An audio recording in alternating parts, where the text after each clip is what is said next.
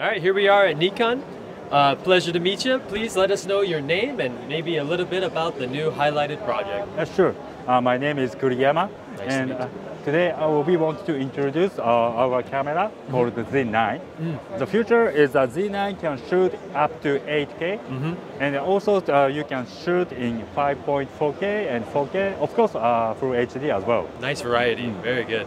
Cool. And then I think you have a little bit of uh, ultra sync blue, Uh, right? yes, we released new firmware in this October, and at the time, people can uh, sync time code uh, through this this product. Oh, I see. This one is uh, Atomos Sync Blue, Mm-hmm.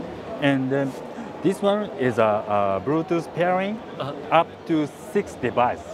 Great. So Wow. you can sync time code in cameras and second camera, and also uh, recorders as well.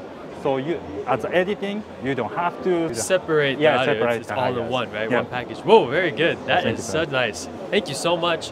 I'm just gonna take a little peek at it. Just Yeah, want sure. to take a little look at it. Oh, nice. Thank you. And